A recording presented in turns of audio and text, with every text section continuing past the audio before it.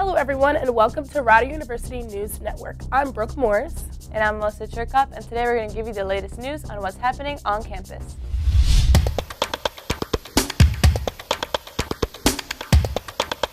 Rider is hosting an art gallery featuring Aubrey J. Kaufman. The grand opening will be Thursday, March 9th from 5 p.m. to 7 p.m.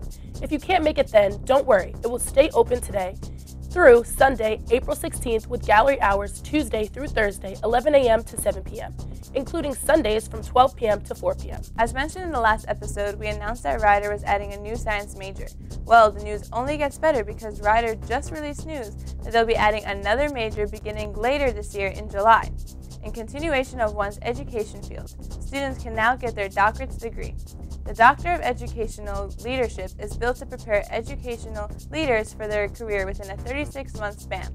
Also, for those interested, Rider is introducing a new healthcare policy major in the 2017 fall semester. This program will provide students opportunity to examine the politics of healthcare from a local, national, and global level to prepare for their future careers. It also offers students broad training in theoretical and applied nature of health policy.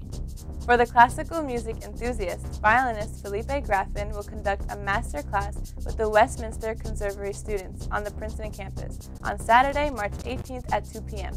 Admission is free, however, tickets are required.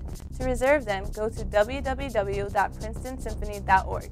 Now, time to acknowledge the Rider basketball teams. Both the men's and women's team made an appearance at the MAAC Tournament Championship this year. The men made it all the way to the quarterfinals last Saturday, however, were not able to advance over Iona, which sadly wrapped up their intense season this year. On the other hand, the women's basketball team attended their first ever MAAC tournament championship games this year.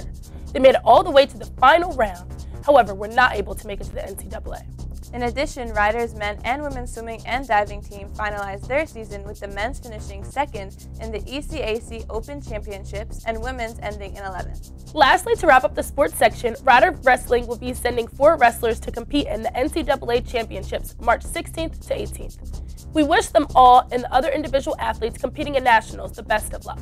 That's all the news that we have for you today. We'll see you next time and have a great spring break.